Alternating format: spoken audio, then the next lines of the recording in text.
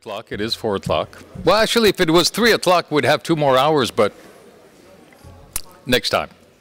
So, phase two of the passenger journey. We will now be looking at pre-departure arrival. And this particular session will focus on passenger data exchange, identification of travelers, and risk assessment. And to lead us into this part of the journey, I'm very happy to welcome back, as always, Vijay Poonoosamy. Vijay is Director International and Public Affairs at the QI Group and President Hermes Air Transport Organization. So Vijay, always a pleasure. We're looking forward to a dynamic presentation to end the day. C'est bon? C'est bon. Merci. Merci beaucoup, Denis. Uh, good afternoon, uh, ladies and gentlemen. Our air passenger numbers as you've been hearing uh, since the beginning of this symposium, continue to grow and is expected to nearly double to 7.8 billion by 2036. Now, if you keep those numbers in mind, at the same time, recognize that the threats to security continue to grow, not only inherently, but also compounded by the fact that the passenger numbers are growing. Now, facilitation is obviously being impacted negatively by those two factors the increasing number of air passengers and the increasing security threats. The challenge, of course, is also as we embrace on promoting facilitation, is never to underestimate the importance of security as the priority. I think in our discussions throughout, we should recognize that notions of trying to balance security and facilitation or compromise should not be pursued. What we should pursue is the idea of enhanced security with the best possible facilitation. Now, obviously, with these double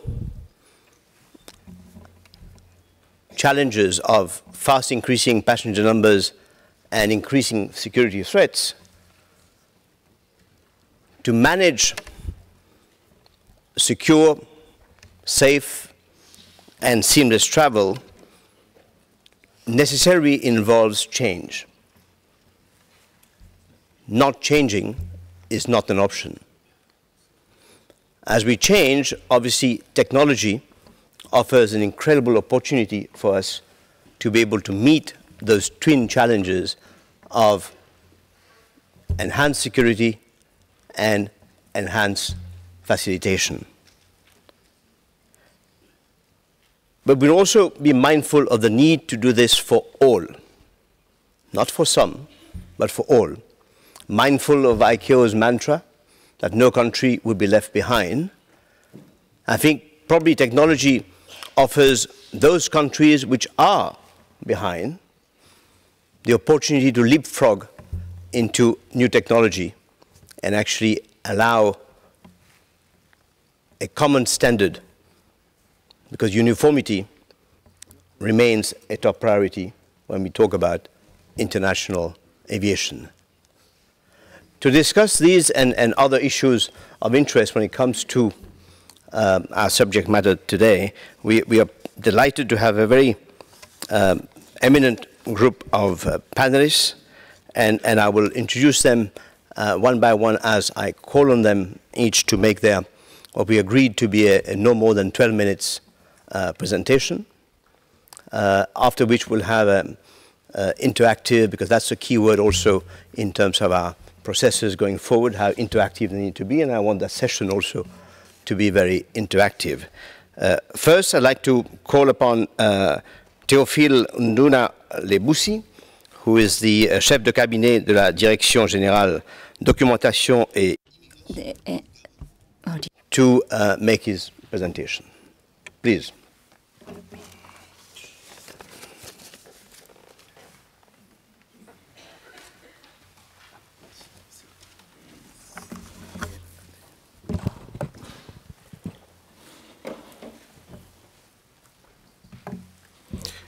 Bonjour.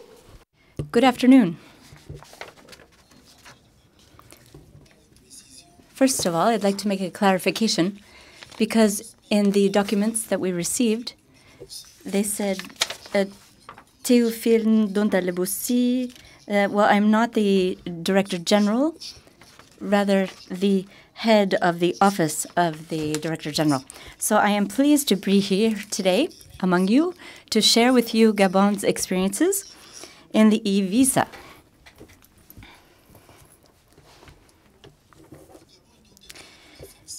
Gabon is a country in Central Africa. Its official name is Gabonese Republic. The capital is Libreville, which is the administrative and political capital as well. The head of state is Ali Bongo Ondimba. The surface area is 267,667 square kilometers. And it has borders with Equatorial Guinea and Cameroon in the north. Congo is to the south and the east, and the Atlantic Ocean is in the west. The population is 1.98 million. This is according to the 2016 data from the World Bank. The official language is French, and the currency is the Central African franc, and it has a political system which is a multi party presidential system. Gabon has nine provinces, 48 districts, and 52 municipalities. The migration situation in Gabon is such that Gabon is primarily a destination country and to a lesser extent a country of transit and origin. So these circumstances mean that the government has to have a public policy on migration. So that means that it has to have a vision and also the means to manage this phenomenon of international migration. So Gabon has a legal framework which is based on Act 5/86 from the 18th of June 1986, and this establishes the rules for foreigners to enter and stay in the Gabonese Republic. And it has been uh, adapted to the current situation. Also, there are um, texts from CEMAC, which have been incorporated in the national body of laws, and there are bilateral agreements on visa exemptions and ministerial circulars on exceptions for uh, entry to Gabon, which are granted to certain groups of countries.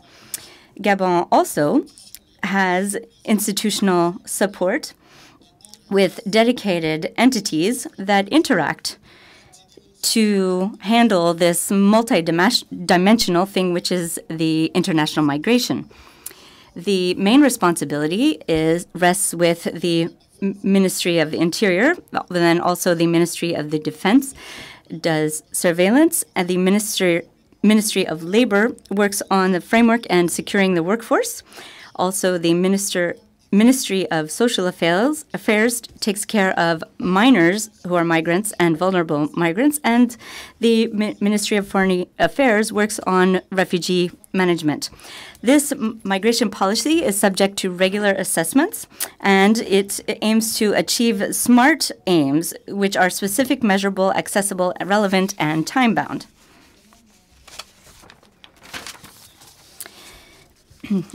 the Directorate General for Documentation is the policy arm and the backbone of the planning and implementation of the migration policy. We have National National Police Forces Unit. And this is backed up by a, deg- a decree number 0407, and it is under the administrative supervision of the Ministry of the Interior. The Directorate General, or the DGDI, offers the following services. They issue visas, as well as travel author authorization for entry and exit, for the extension of stays, for residence certificates, temporary res residence cards, and refugee cards, the regular passport, the laissez-passer, and border controls and migratory flow management.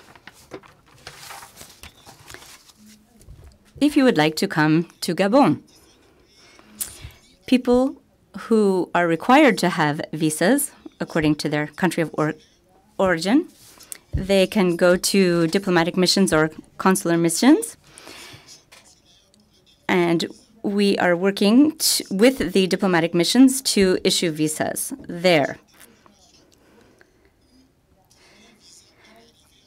You can receive permission to en enter uh, granted by the DGDI, or you can also get a visa upon arrival at the international airport in Libreville.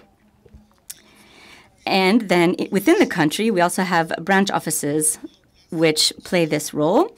And in July 2015, we established the e-visa. In terms of security, so first we spoke about facilitation, and now to security.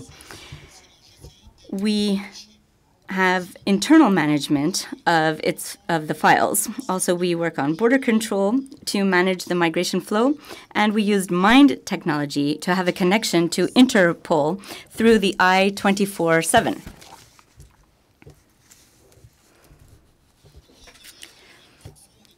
Thus, the e-visa is the platform used to request entry visas.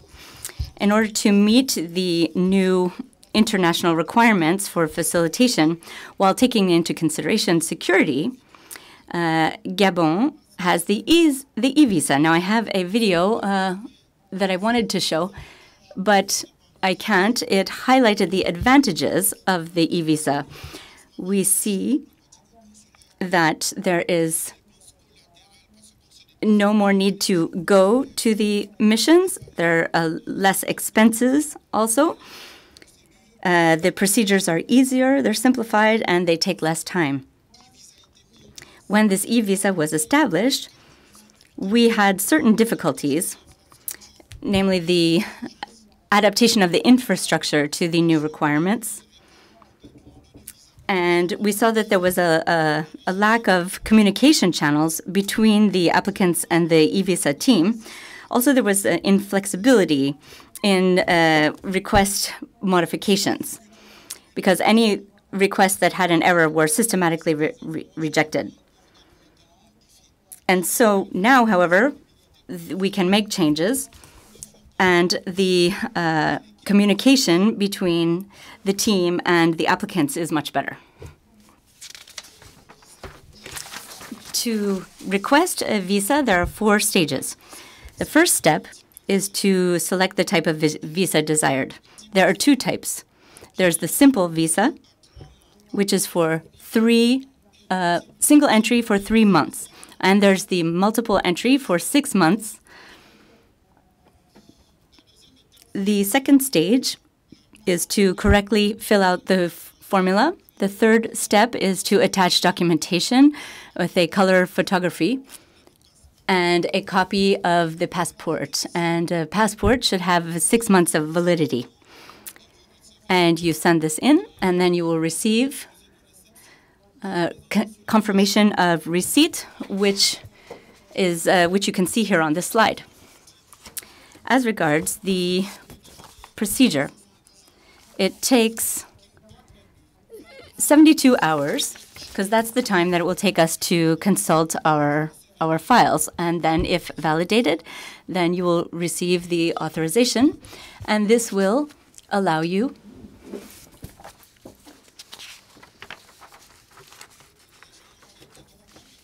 to come to Gabon with your entry visa. We have some, you have some statistics in front of you. These summarize the data from the launch in September, we have had approximately 71,000 visas. There are various types here that you see, and the group, the age group that requests the most visas is the group 3249, which is approximately 40,000 visa. And the countries that request them the most are uh, France, China, and India when you look at the reasons why people request visas, we have uh, business uh, professionals, approximately 13,000, and family visits uh, around 10,000. In conclusion, I would say three years after this was launched, and with the improvements that were made, now the e-visa, e-visa is a tool that is fast and secure, and it makes Gabon into an attractive and competitive destination. Therefore, it contributes to the diversification of resources for growth and for sustainable development. And this is what the Gabon, authorities require. Thank you.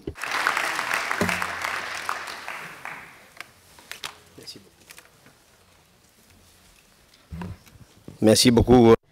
Thank you very much, Théophile. you were uh, actually quite quick. You have one uh, minute uh, extra, and so you also were quick in your information provided. Uh, also, I'd like you to note your questions or comments that you would like to make in the question and answer phase, either live or to send them by email so that we receive them up here to our second panelist, uh, Diantha Raadgers, who is from the Ministry of Infrastructure and Environment, Directorate General uh, for Transport and Aviation Unit at the Aviation Safety and Security of Netherlands. Diantha, floor is yours. Thank you. Thank you, Vijay, for the kind introduction. In my presentation, I would like to tell you something about challenges for travelers, border authorities, and also for airlines in relation to the transfer of API. Okay, you can switch to the um, to channel 11. I will continue my presentation in Dutch. Let's see who's listening. Now, I heard I had to make a joke in the former panel, but that was all I could, uh, could think of. Uh, let me start by saying that the amount of multiple passports is increasing. Uh, multiple nationalities, increased globalization, international marriages, migration followed by naturalization, and also the differences in basic nationality and citizenships regulations based on place of birth of a, of a child, just solely based on the soil, if you may say, or the nationality of one of both parents, jus sanguinis based on the blood. Now, if you have um, a child that has a German and a Filipinian uh, combination father, and you have a Canadian and French uh, mother who have a child in the USA, you may have five national nationalities and el eligible for that. Uh, you also have a lot of multiple passports within, within one nationality. And you have a diplomatic passport, you have another one. You may have an UN or EU laissez-passer Interpol passport. You can even have two national passports because you will need to give one in to get an old-fashioned visa and in the same time you need to travel. So there are a lot of multiple passports out there which would not be a problem but how do they affect border innovations and the advanced passenger information? Okay, just a very quick background uh, some people, of course, uh, some uh, countries give expedited entry and exit, always based on the nationality. Your uh, eligibility is based on the nationality. There are differences in processing, the vetting, uh, the amount of checks they want you to have, and also, of course, in corresponding waiting times. Now, if you have multiple passports, you would choose, of course, the shortest line, the quickest entry. And some countries allow their citizens only to travel in and out with their own passport, even when they have multiple passports.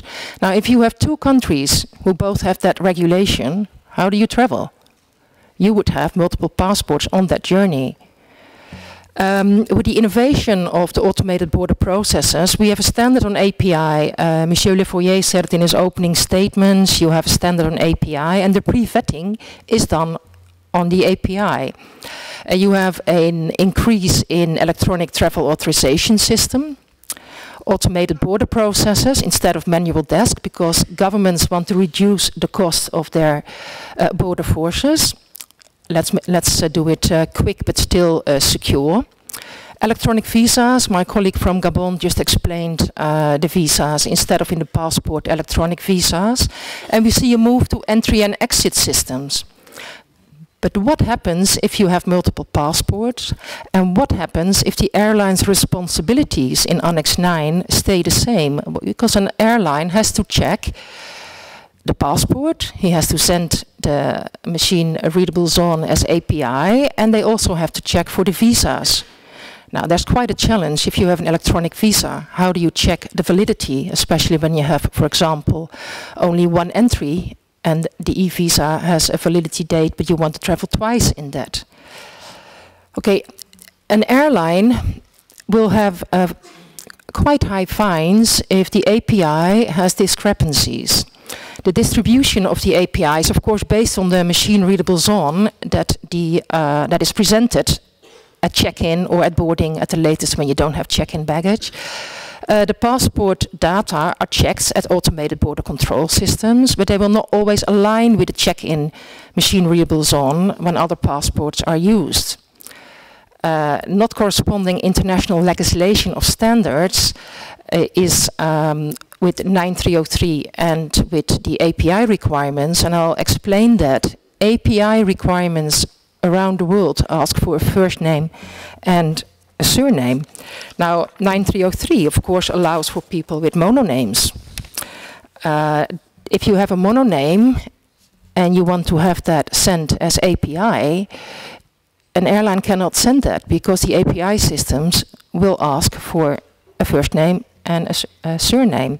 Now, within uh, DOC 9303, you have allowances for people with only one name. Mononames are, are very common in, in parts of India, especially in the south, in Indonesia, in Java, uh, Tibet, Myanmar, Mongolia, and most Africans only have, um, have no surname. And it differs per country where people put it in the identifier. Now, the 9303 people, and, and I see quite a few here in the room might say, well, that's easy because you always have to put it in the first uh, identifier if you only have one name. Uh, and but then you still don't have a second identifier, which is uh, requested for the API.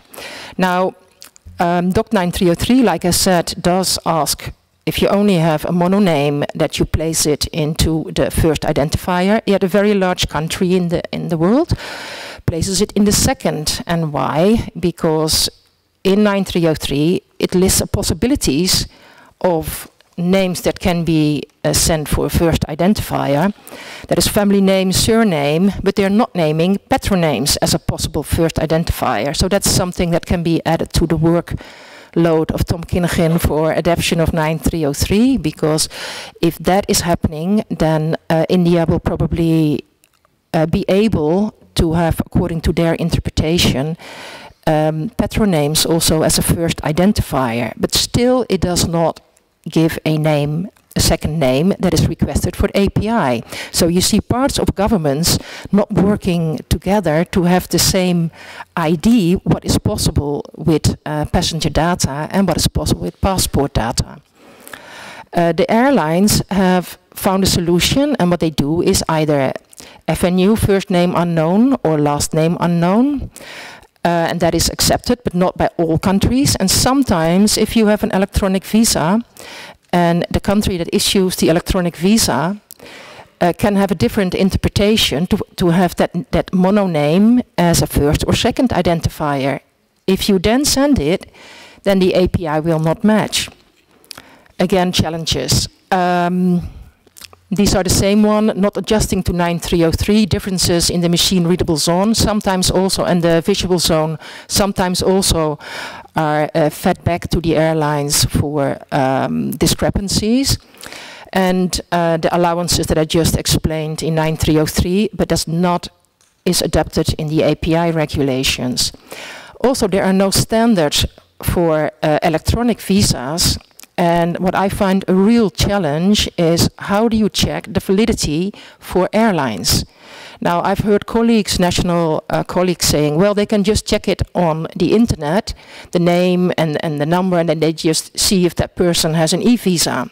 Well, I would like to uh, ask any of you how you're going to manage that if you have a 450 passengers on a flight and you have to check manually the validity of the data. But still, there is no um, the, air, the countries that, for example, would have an e-visa without having an interactive API, they should they should, I'm just saying uh, that it's not in, in uh, Annex 9, but I think they should uh, be lenient towards API discrepancies from the airlines because they cannot check it in real time.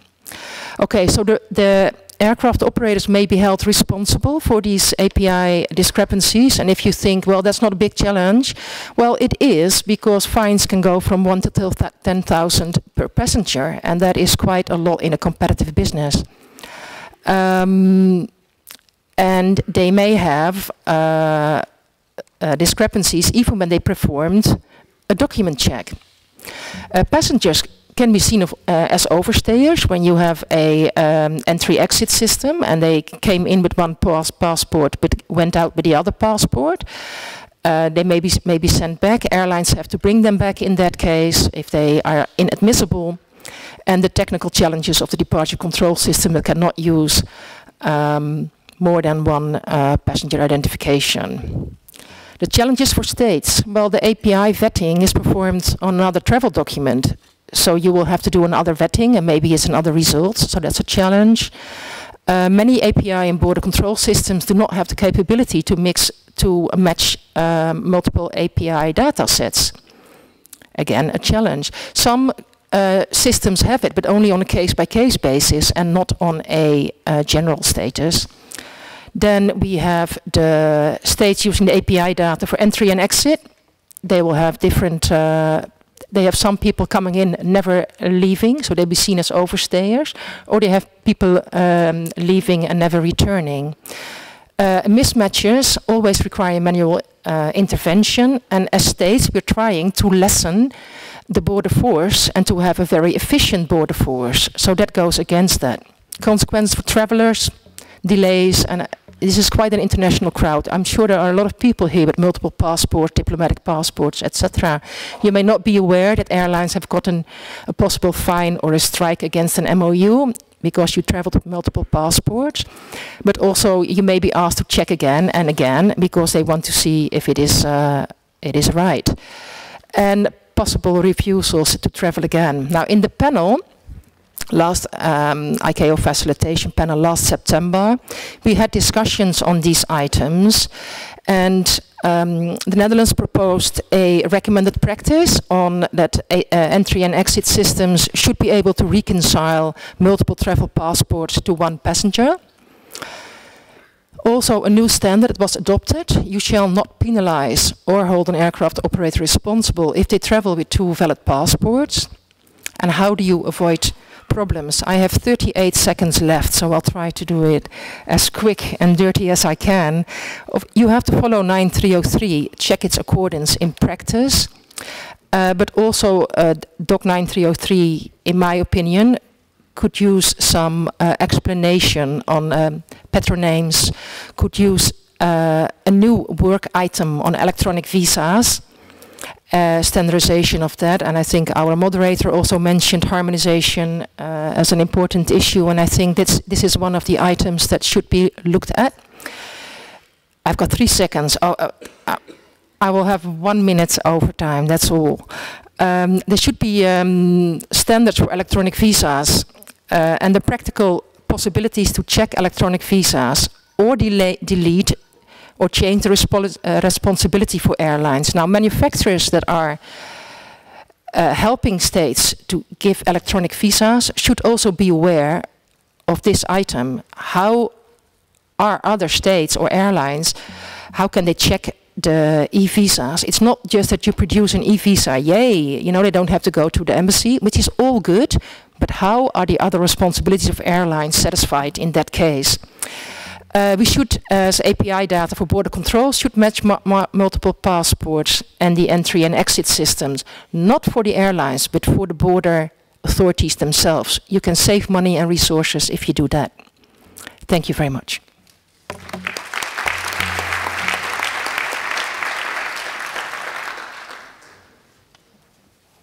Thank you very much, uh, Diantha. Now, please welcome uh, Simon Deignan, who's Program Manager, Travel Document Security, Transnational Threats Department at the Organization for Security and Cooperation Europe. Simon, the floor is yours.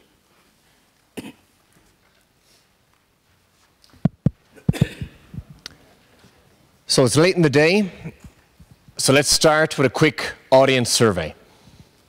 I want to see a show of hands here, okay? So, who here is a representative from a country? See a show of hands? Okay, good. I have two more questions. Who here is from a country that already has a fully functioning API system? Less hands. And who here is from a country that does not yet have an API system or is in the process of setting one up? Okay, good. Thanks for participating in the survey. Always good to get to know the audience. So some of you may have seen my speech yesterday. I have good news and I have bad news. The bad news is I have no more pictures of my beautiful baby girl, Cara. Sorry for that. The good news is I do have another story about her. I'm going to try and fit it into the agenda also. So before Cara was born, my wife insisted that we not find out the sex of the baby. So we didn't know if it was a boy or a girl. I was dying to know. I really wanted to know. I could have painted the, the room pink. I would have borrowed less clothes from my family, all of whom seem to have had baby boys. I also would have saved the bother of arguing with my wife over boys' names or telling my dad that I was going to name the child after him. So you see that finding out information in advance of a new arrival can be very, very useful. Oh, you see what I've done there? This is even more useful in border security and especially in aviation security. I've gone full circle. This why API is now mandatory.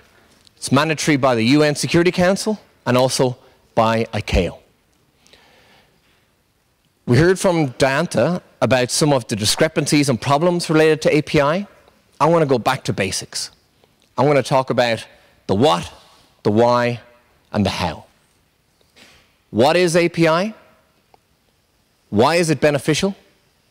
And how can states establish a national API system? So let's start with the what. What is API? Now, I could have done a PowerPoint presentation, but instead I'm going to use my colleagues up here on stage to help me with a small demonstration. So, Mahmoud over here, he's from Libya, but he tells me his favorite airline is Lufthansa. Vijay here is from Mauritius, and these are his team from the targeting center in Mauritius. I don't actually know if you have one or not, but however. So I'm now checking on to a flight, Lufthansa to Mauritius. So I come into the, air, into the airport, beep, beep, beep, beep, scan my passport. Lufthansa now has my passport details. If Mauritius have an API system, I don't know if you do, but if you do, you will then get my passport details and flight information in advance. But on its own, of course, this is just data. If you don't do anything with the data, it's useless. So Vijay needs to hand this on. He already has done that. Handed it on to his targeting center, his analysis team here. It's going through them all, I can see. And they can use it to check it against watch lists, databases, risk profiles. So that is a basic summary of what is API. Now, why is it beneficial? Well, how many of you have heard the story of Mehdi Nemmouche? Not too many hands, or maybe you're getting shy in case I ask you a question. Mehdi Nemmouche was a French citizen who in 2014 traveled to fight in Syria. French counterterrorism officials placed him on a national watch list, also a European watch list, and then even an international terrorist database. Despite this, Mehdi managed to travel back to Europe using broken travel via Asia. He did this using his own passport information. Once he got back to Europe, he traveled to Brussels, went to the Jewish Museum with a Kalashnikov rifle, and killed four people in less than a minute. If Mehdi Nemmouche's API data had been systematically checked against these watch lists and databases, it's highly unlikely he would have been able to carry out this attack. So the first thing that Vijay and his team can do when they receive my information is check it against watch lists and databases. See if I'm on any of these watch lists and databases. These are the, the known suspects. The other thing they can do is check me against any risk profiles that their country has established. Maybe an Irish male traveling alone with very little luggage for a short stay in Mauritius is quite suspicious. That would get a hit against the targeting center. So, put simply, API, you can use API data to screen for known people and known risks, as well as unknown people and known risks. So that's the what and the why. Let's look at the how. How can you establish an API system? Well, we heard from Ulrich yesterday that only a third of UN member states have an API system. Why is this? Well, we in the OSCE, we do capacity building, and some of the issues that we faced, I would say there's the top three. Firstly, legislation. Secondly, technical complexity. And thirdly, money. So let's look at all three. Legislation. Put simply, if you do not have legislation in place that insists that the airlines give you this data, they just won't give it to you. Why not? Well, firstly, it costs them money, but also it'll be contrary to data privacy rules in their host country. So you'll need to put in place an API law.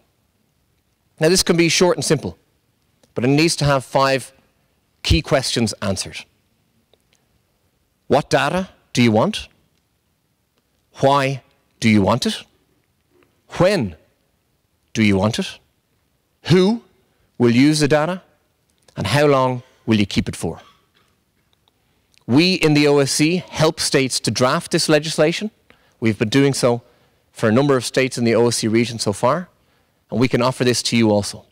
We can also give you the legislation from other countries and you can compare and contrast it or just copy and paste it if you like. So that's obstacle number one.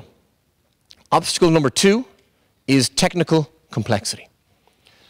There are a huge amount of companies in the API marketplace.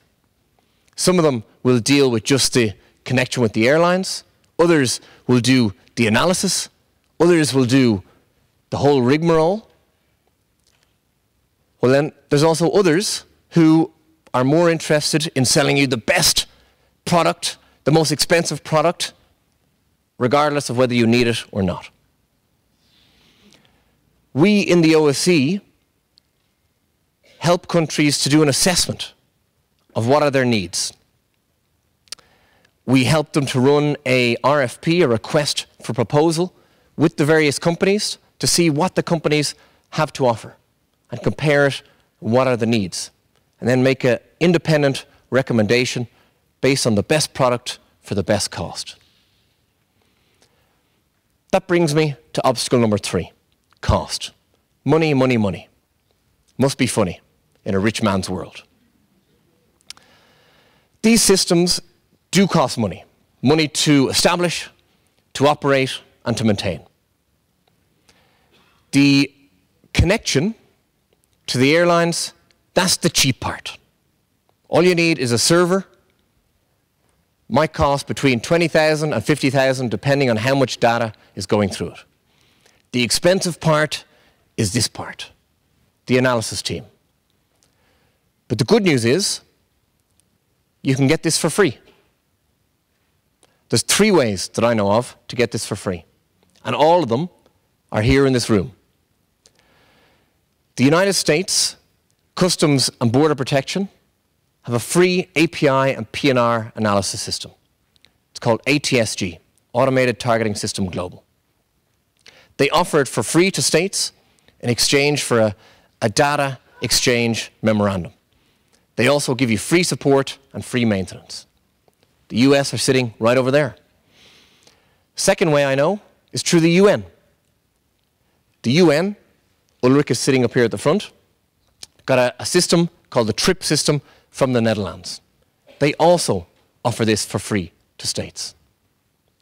Another way is through the World Customs Organization. They have a scaled down version of the US system, but they also offer it to states for free. And I believe Terry Wall is speaking on a panel tomorrow. We in the OSC can help facilitate contacts with all of these, with all of these agencies to help you get your analysis system for free. So the cost is no longer a burden. In summary, I've spoken about what is API, why it's beneficial, and how to overcome the legislative, technical, and financial barriers.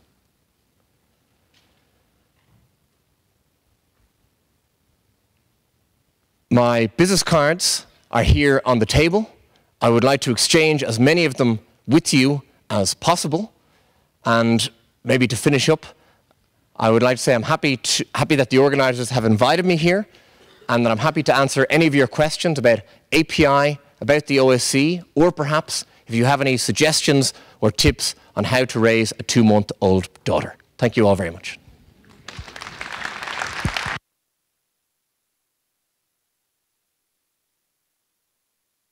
Thank you very much, uh, Simon. You've collected your passport? Yes, good. Thank you very much. And now, last but not least, we have uh, Erik Slavenas, who is the Identity Management and Biometrics Officer at the International Organization for Migration. Please, again, reminder, note your questions if you want to shoot them in email, or we'll come back to you shortly.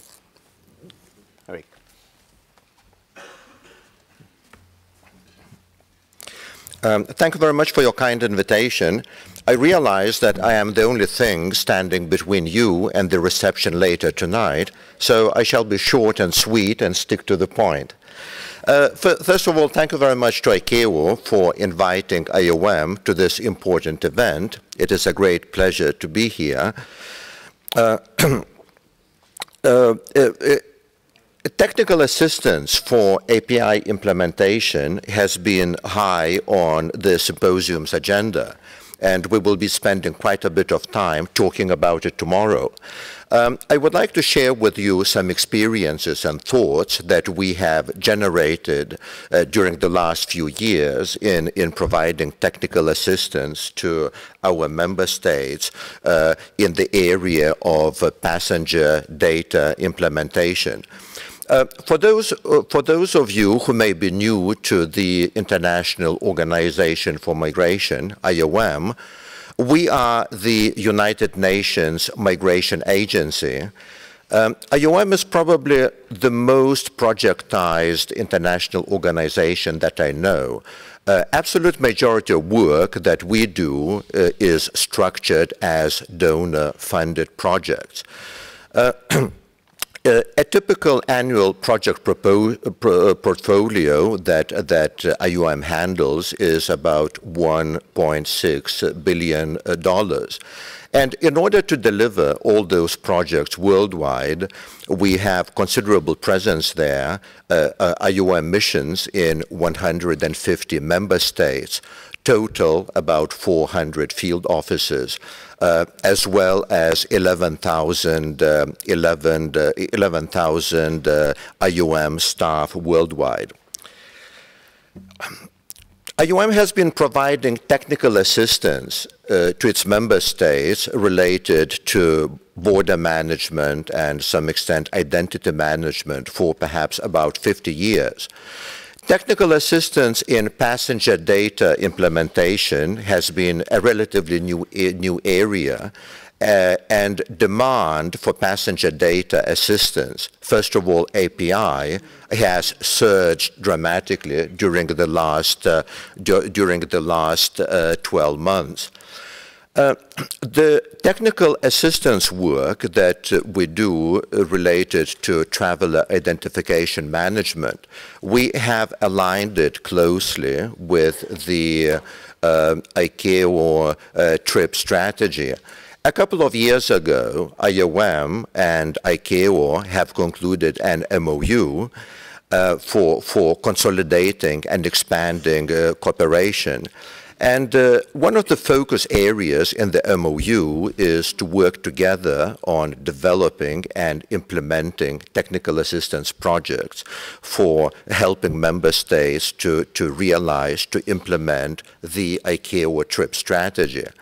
Um, in order to structure this work, this assistance, we have developed an IOM action plan for ICAO TRIP implementation assistance for this uh, triennium which has been closely coordinated with our partners, the ICAO Secretariat Working Group, etc., etc.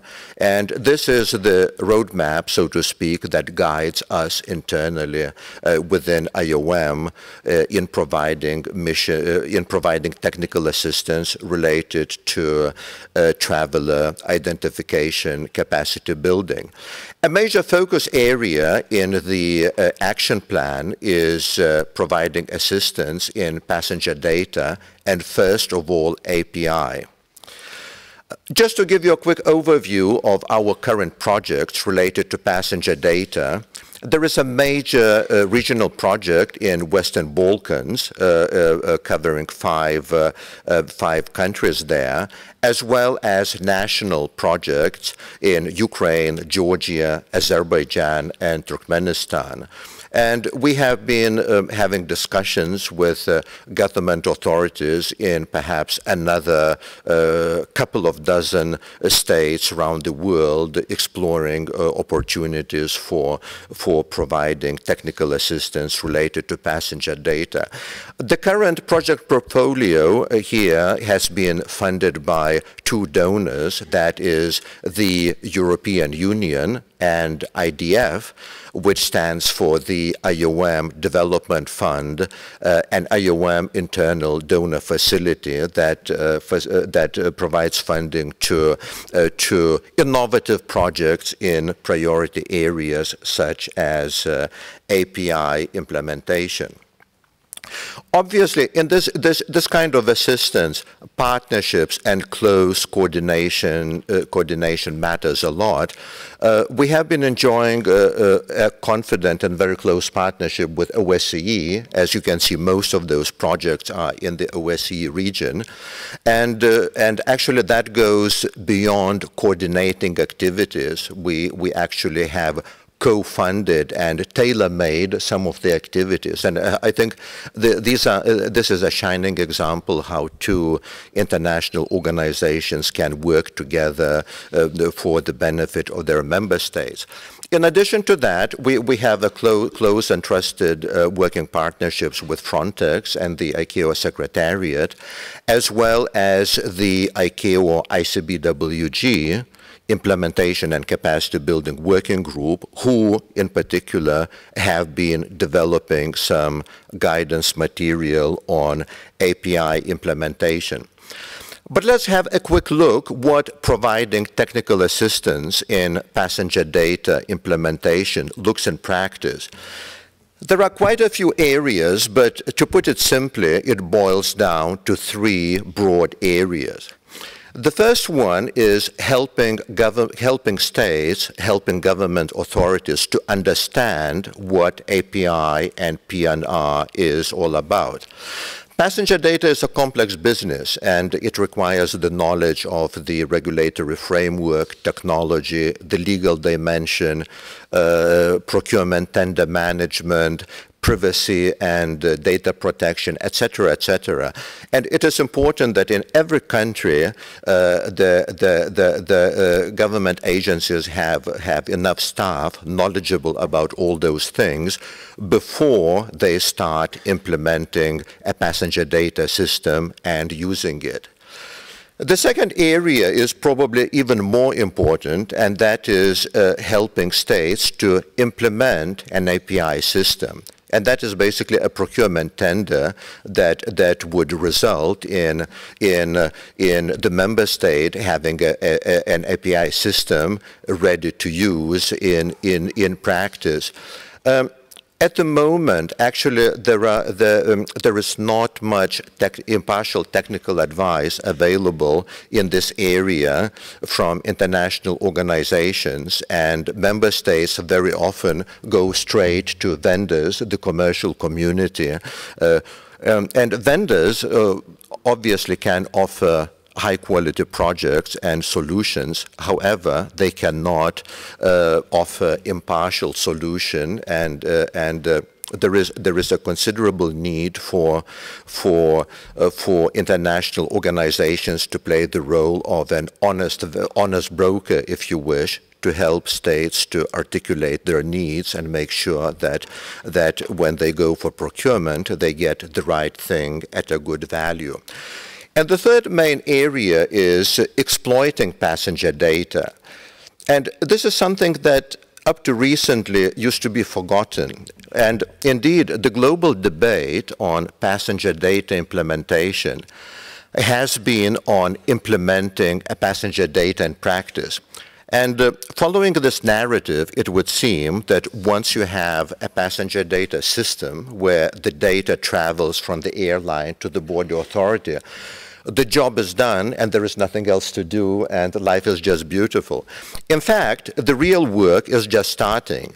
And indeed, uh, let's face it, passenger data is utterly useless on its own unless it is used against some against some uh, tactical intelligence project pro product such as watch lists or is analyzed and turned into, into some intelligence that could be used for risk-based border controls that can increase both uh, border security and border facilitations. There are a few other uh, areas that uh, API PNR technical assistance projects provide, such as developing an implementation plan or doing a legislative review and developing national API or PNR legislation, uh, creating a national API working group and engaging stakeholders, uh, doing assessments in a number of areas. These are all important, but basically I think they are subsets of those three broad areas that, that I have just, uh, just, uh, just gone through. And finally, I would like to, to, to share with you some, some challenges or, or perhaps as well as lessons learned that we have encountered during the last year or two in, uh, in implementing assistance projects related to passenger data. Uh, a considerable challenge is misconceptions about API and PNR. Well, obviously, one, one challenge is uh, having no knowledge about API and PNR. But that's no big drama. Many people are quick learners, and with a few workshops and, and training courses, they, they pick it up easily what API and PNR is all about. A real trouble is when people know a little bit about API and PNR and have misconceptions and they got it wrong and uh, and to get the correct understanding takes a bit of effort.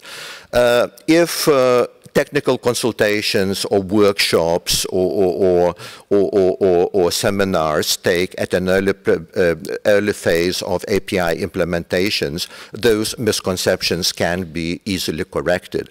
However, in some cases, those mis misconceptions have crept into uh, developing national API uh, or PNR legislation or a national implementation plan, and then it takes quite a bit of time and effort to, to rectify those things. Yet another challenge that, that has been popping up is uh, interagency cooperation, such as issues such as uh, the government designating a lead agency for implementing a national uh, passenger data system and ensuring that the single window uh, principle is followed. Uh, um, that's the ideal, but, but in, in, in, in many cases, uh, the uh, level of interagency cooperation is not close enough and and uh, and it is not so easy to come with uh, with uh, with a clear whole of government perspective uh, how to go ahead with implementing an API system. Sustainability is another issue, uh, first of all, because passenger data systems require, require data services, which means uh, recurrent uh, maintenance fees. This is not a problem on its own. However, uh, it is a bit of a challenge when it comes to providing technical assistance uh, uh, as part of international aid. Uh, for API and PNR systems, it is not possible just to supply the government with a system because uh, it is important that it, it, that the government has capacity to cover uh, financial obligations to make sure that uh, the data services are provided on a sustainable uh, basis. Yet another area, challenge, or, or, rather an important area, is privacy and data protection that keeps popping up in all passenger data uh, projects. This is a vital area in getting it right. Obviously, those things are addressed in developing national API and PNR legislation. However, it is not just legislation, it is also uh, stakeholder management, making sure that privacy stakeholders are included in, in, into the implementation uh, from, the, from, the, from the very beginning. Yet another important item is the importance of needs assessment, and uh, I would argue it is the foundation of every successful API and PNR, uh, PNR uh, implementation system. It happens in some countries, when, uh, um, uh, when governments use data services, is that they happen to get locked in and find it very difficult to change the service provider should a need arise. So yet another important lesson we have come around uh, across is that it is important to have an exit strategy when running an API or PNR uh, procurement tender. Managing change might sound a major, a minor, minor detail. However, uh, however, it, it, it, has been important. Um, implementing a passenger data project inevitably, inevitably brings change, and uh, uh, most people are uncomfortable with change because uh, because it can compromise their position or, or position or, or, power or their interest, and it it naturally generates anxiety. So it is indeed important to uh, to to have uh, a change management strategy and to re to reassure all those stakeholders that their interests will not be compromised. Yet another important area is is establishing and maintaining a solid contact with, with, uh, with carriers, with the airlines.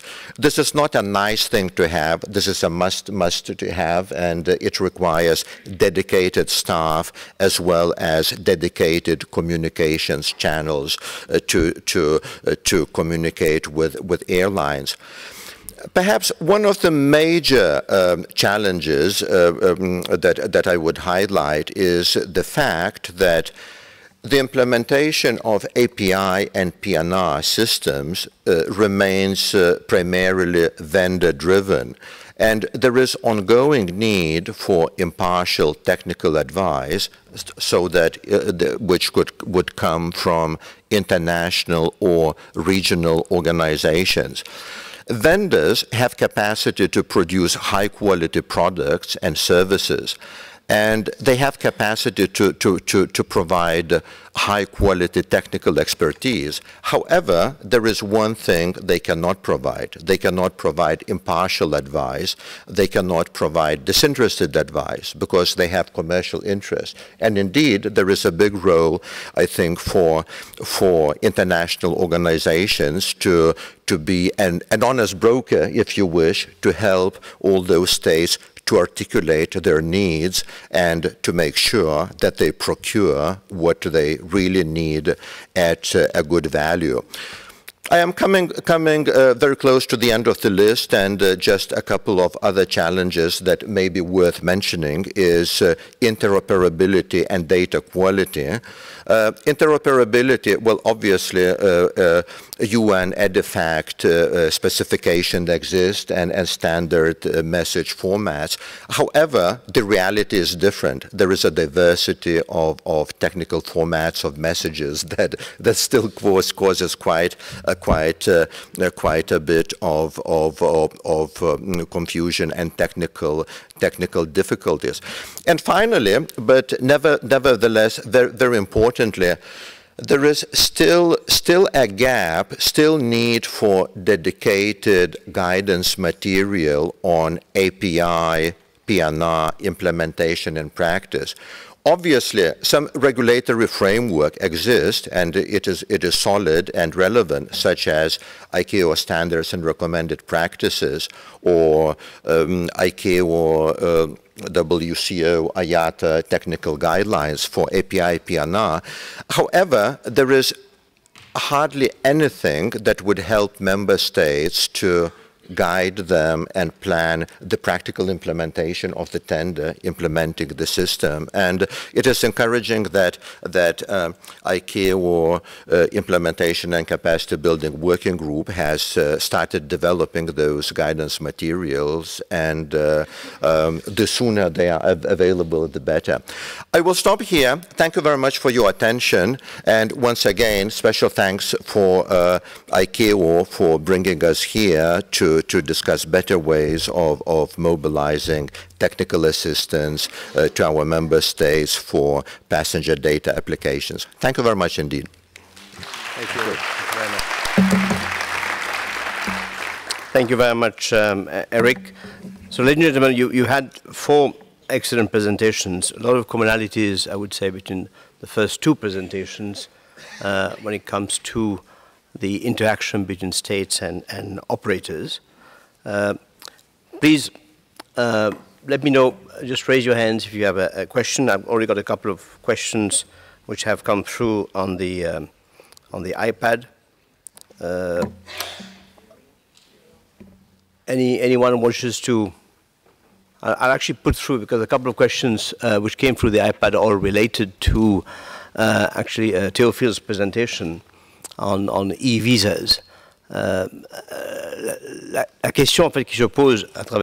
So the question that I would like to ask is the airlines have a responsibility before they accept the passenger to verify that the passenger has all of the documents necessary uh, for the destination. Is that the case?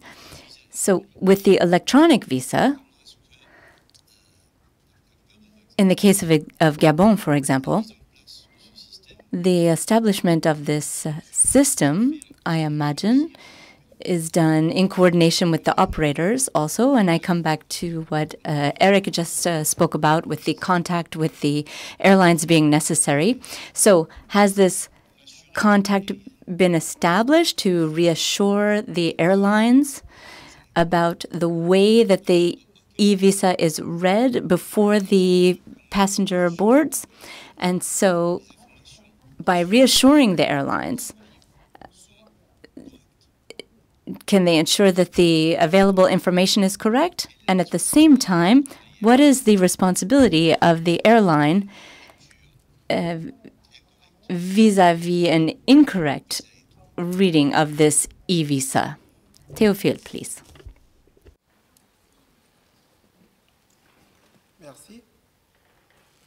Thank you.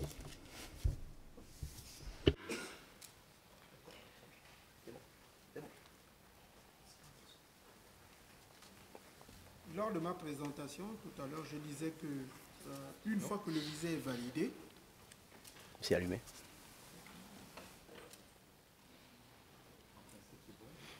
Ouais. On va peut-être valider le micro avant. We're going to check the microphone first, authenticate it.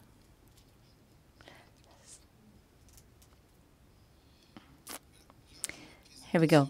During my presentation, I said that once the e-visa is validated, the person receives by email a document which is an entry, uh, permission for entry to Gabon. And so then you can go to your flight, go to Libreville, for example, and then get a visa when you arrive. So the problem is that when you request your visa, you indicate the date of arrival and the date of exit. And so sometimes people take the plane and they arrive in Gabon before the start of validity of their trip. And so this is a problem. So, for example, someone could be not admitted to the country because of this, and then this comes back, the responsibility comes back to the airline. And so does the airline have a way to deal with this? Yes, if there's doubt, well, once the, the visa tourniquet has been established, we have an exchange with the airlines and we explain to them all of the procedures. And in a case of doubt, the airlines will go to the immigration services to ensure that they have the correct information. Merci. Thank you. Um, well, I may be a little bit of a rebel since I am representing a government, but I have specific thoughts about what a government should do. Um, and the rebel part is that I think if you are changing uh, your procedures without giving an airline or another party in the logistic chain a possibility to have a practical way of checking and doing their responsibilities, then you can do two things in this case when you have electronic visas. One, you can have an interactive API system that allows an airline to know at check-in whether they can board the passenger or not, for example, with the ETA or ESTA systems. That's one, or with the Australian system. The second thing is what you could do is say, okay, they need to check the paper version for the date. If they don't do that, then they are responsible because they didn't check the paper um, version. And if they, they can also say if the passenger does not have the paper version, you cannot board them. Or you can say, well, if they have a paper version, um, just board them. And if that paper version is false, or they already have once entered on that on that uh, visa, they're not allowed a second time, the airline cannot know, I will not hold them responsible. That is another option. And I think what a lot of, and I'm not saying Gabon is doing that, but I, I know of some countries that are saying, okay, we have an electronic visa, you can print it, but it's not even like a, a barcode or something that you can check. And they just say, well, airline, if it's not uh, valid, you are responsible. If you have a uh, valid paper within the validity date, but you're only allowed one entry and they already used it, they still get a fine, they still get the responsibility, have to take them back, not only a fine, but also pay for the inadmissible cost. Now, I think as a government, you have to take that into thoughts before you do. Um, before you take those regulations, and since Annex 9 responsibilities still place that burden on the airline, you also have to think when you when you do innovations, how can they practically deal with that? Thank you. No, thank you very much. Uh, it's obviously a, a, very important point when it comes to, I suppose, traveling. We, we all, I'm sorry, a believer on that, that it, a no visa regime is the best one, but as an alternative, an e visa is better than a, a physical visa.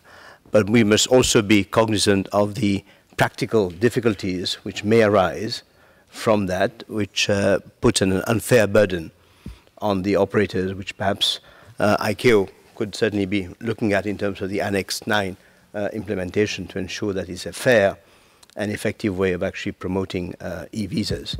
Well, specifications and guidelines on electronic visas would be a first step that I think ICAO might look into. Absolutely. Thank you very much. Any other other questions? I mean, these were obviously some very good thoughts, and um, a question was also about ICAO standards on uh, e-visas. Uh, please, gentleman from Nepal.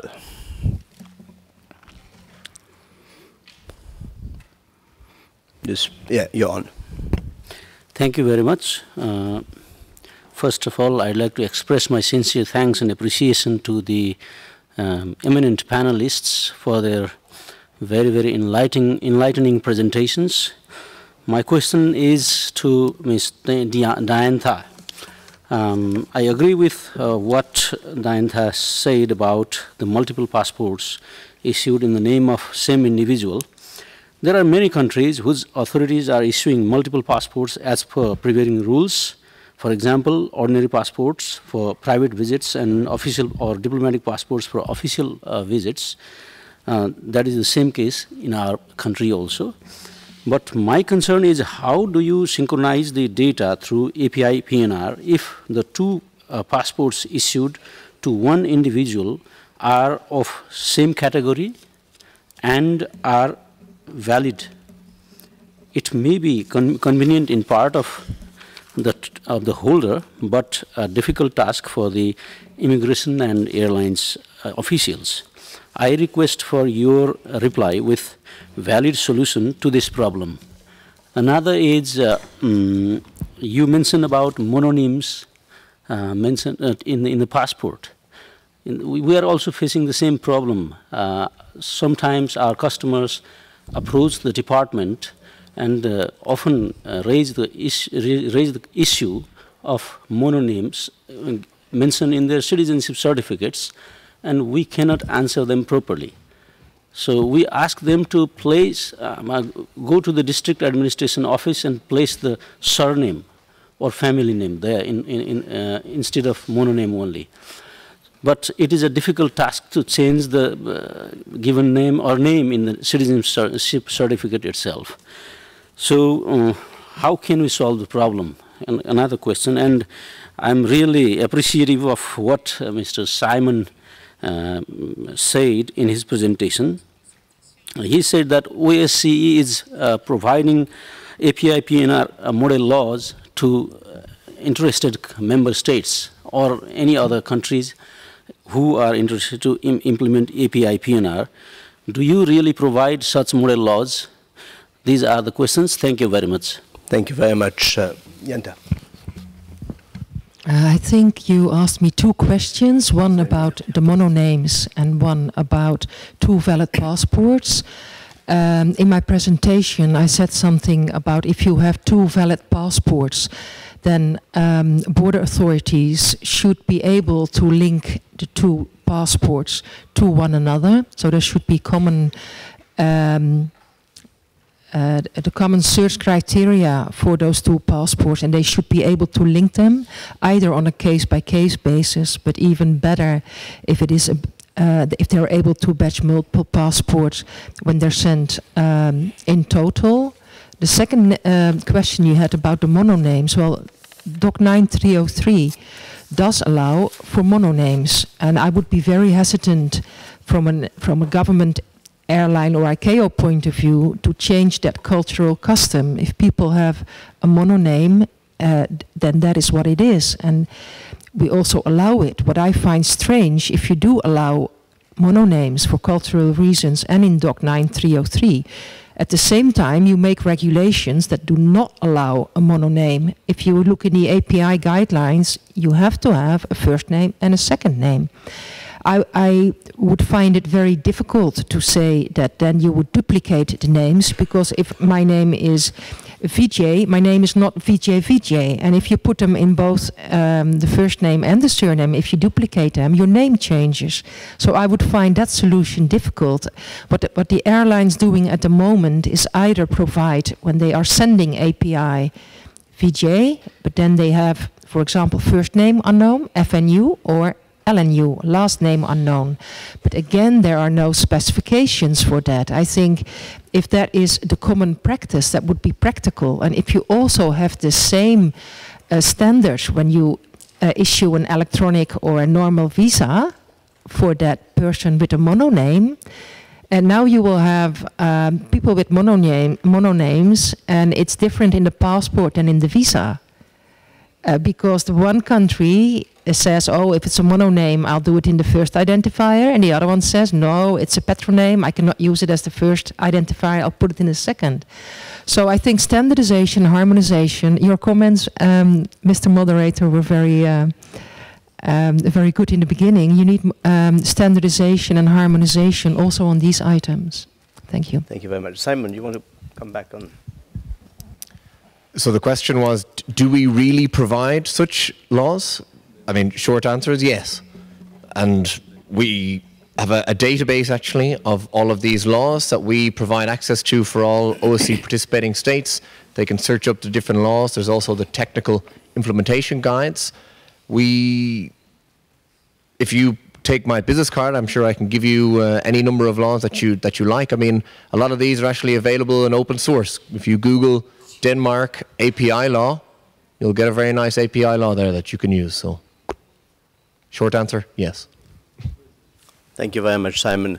Uh, actually, we, we, are, we are now literally uh, out of time, and, and I'd really like to thank you for your uh, interest and, and comments and questions uh, through here. And uh, before I offer you some, some thoughts uh, by way of conclusion, I would like you really to, to, to thank uh, Theophile, Diantha, Erik, and Simon for their uh, insights and, and uh, sharing of their knowledge with all of us today and, and, and really give them a round of applause.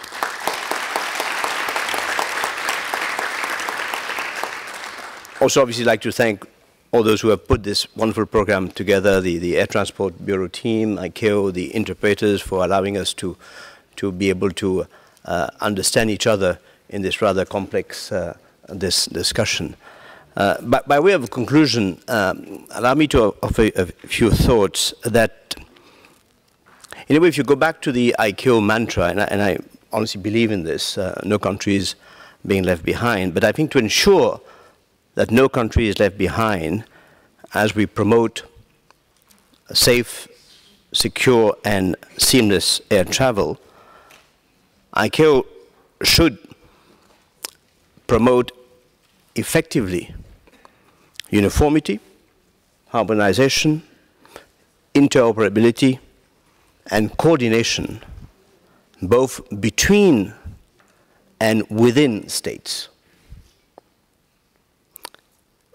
ICAO should definitely do some work on developing uh, SOPs on e-visas.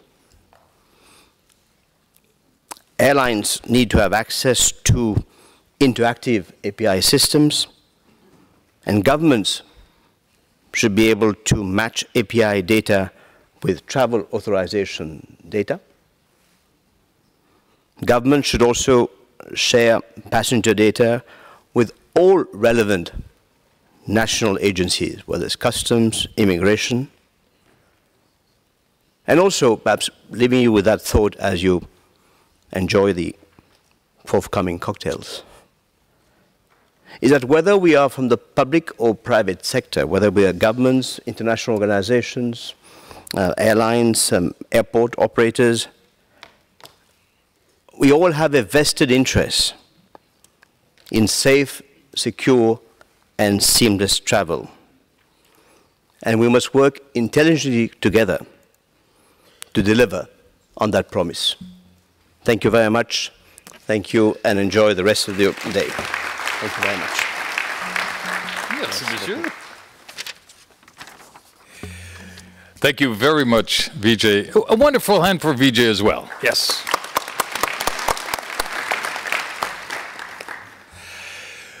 We are just a few minutes away from the reception, and without further ado, I'd like to call upon our presenter. He is Emmanuel Wong. He is the Vice President Border Control at IDEMIA, who is kindly offering us a wonderful reception. So, Emmanuel, Thank you.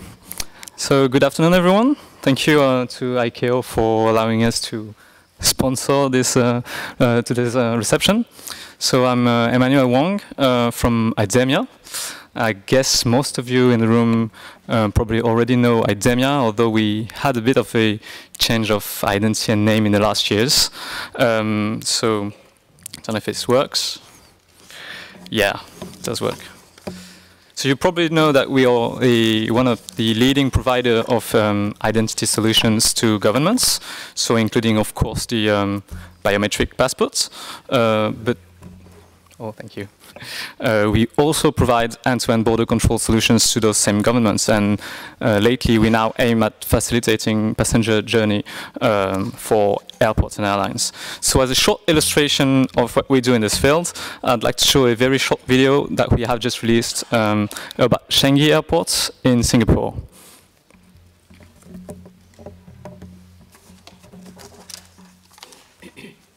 Does that work?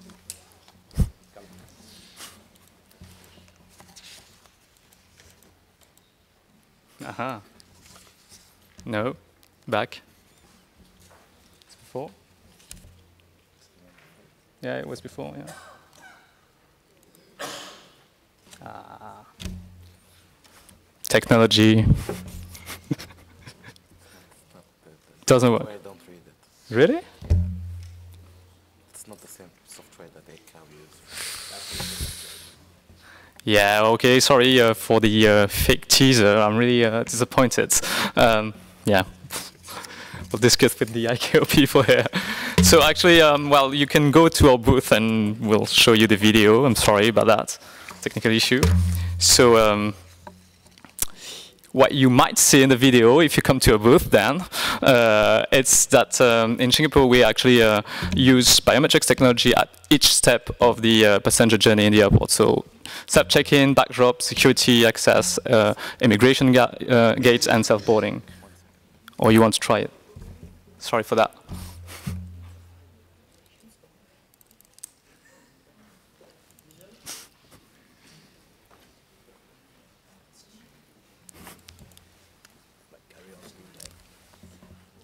Yeah, I'll carry on while uh, tech technicians try to uh, solve this. Um, but without the slides, then don't need to choose.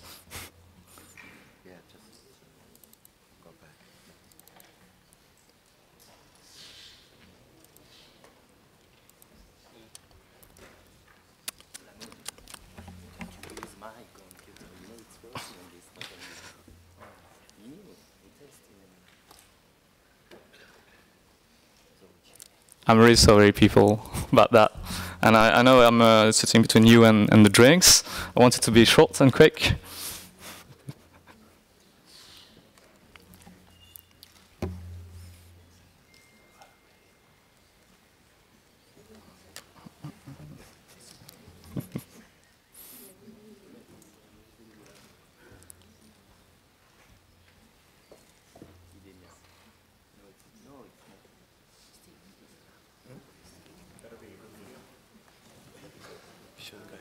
Yeah, okay, then can you just put the slides back even without the video then?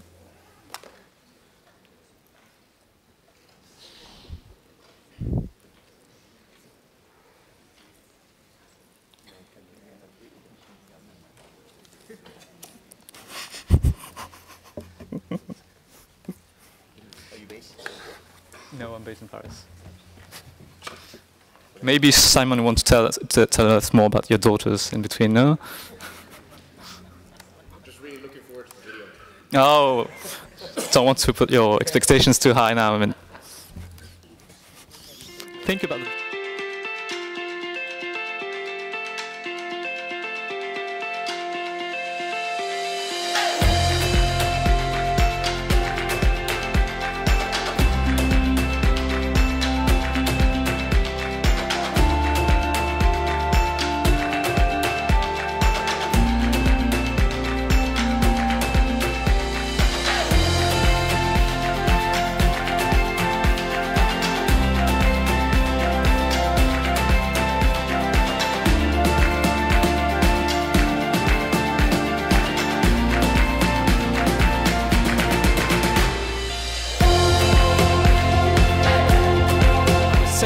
Video, you're supposed to see uh, that we're using biometrics technology all along the journey of the passenger. And actually, uh, we are quite proud that Singapore has chosen us, IDEMIA, to uh, help them lead the uh, what we believe is one of the first implementations um, of this smart border, smart airport concept, uh, really in large scale and fully operational.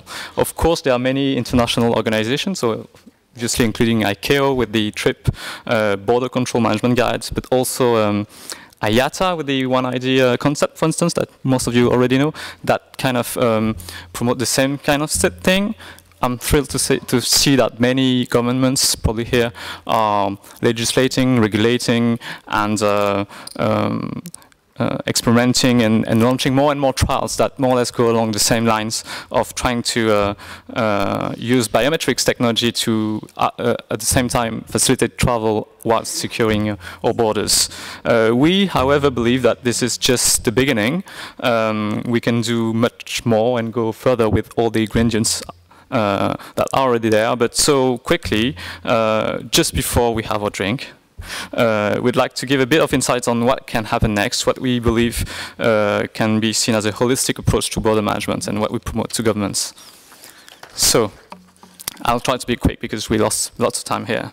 Uh, so first, of course, we want to uh, promote the use of advanced passenger information, but also passenger name records um, in advance of the uh, departure of people uh, obviously also make the most of digital interactions with those travelers ahead of departure, so with the interactive advanced passenger information, but also e-visa electronic travel uh, authorization. Um, does it? Mm, shall I put it in the end?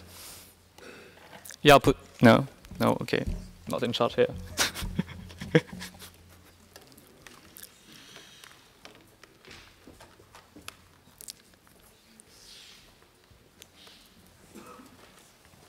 But thank you guys anyway because.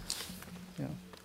We have another option that you do the full thing tomorrow after we make sure that. No, I can finish. I can finish. I mean. It's, it's actually this really because we can probably show the video again tomorrow if you want. Oh.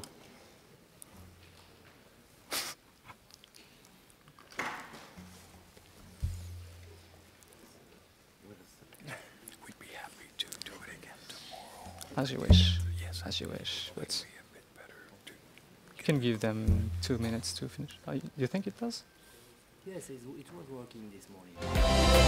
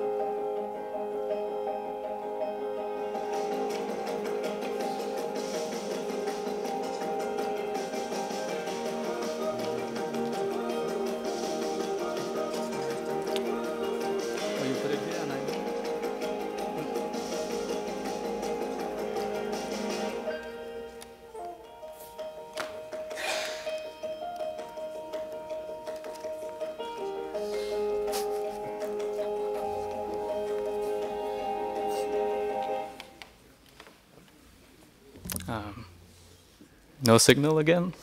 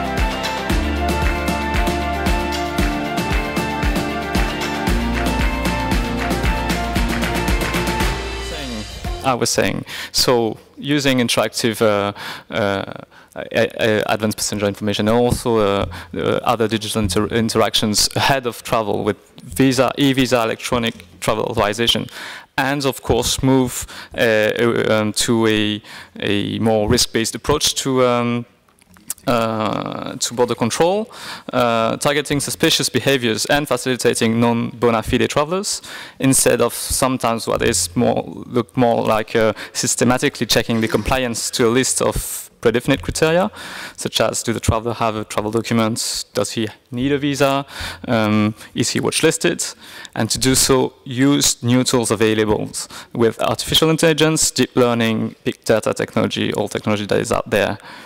Now, also move away from the current tr transaction-based approach where the same questions are asked at each border crossing to a more person-centric approach uh, where the government actually sees a continuity between each encounter with travelers, uh, with the entry-exit systems and so on.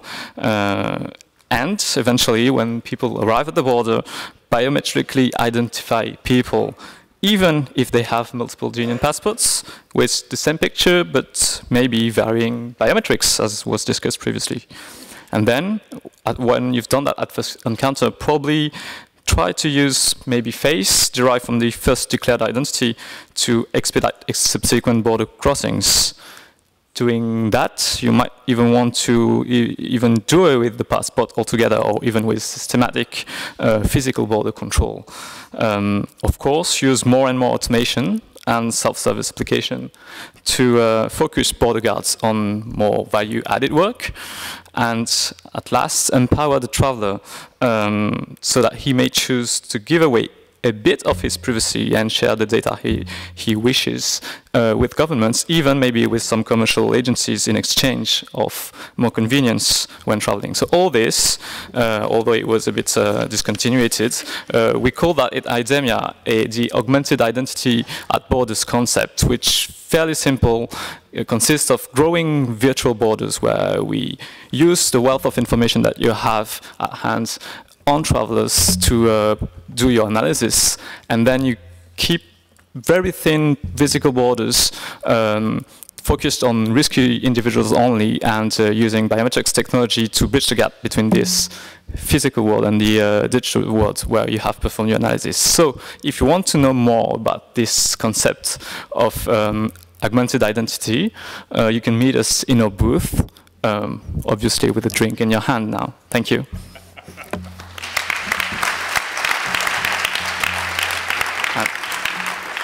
And thank you for the tech guys for having tried the best.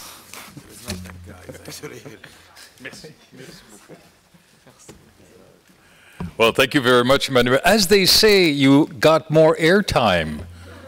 We'll certainly never forget this presentation. No, it's very good. And we will go back to the, uh, the booth and look at the video again. Thank you so much. Much appreciated. Well, we've come to the end of the first day of, second day of our symposium. I will not be between you and the reception, so we'll let you go right away. Be sure to be back here at 9 tomorrow, and it is 9 tomorrow, not 8.30 or 9.30, it is 9 tomorrow. Thank you so much for your attention, cooperation. Again, thanks to our speakers today. Enjoy the evening. See you tomorrow.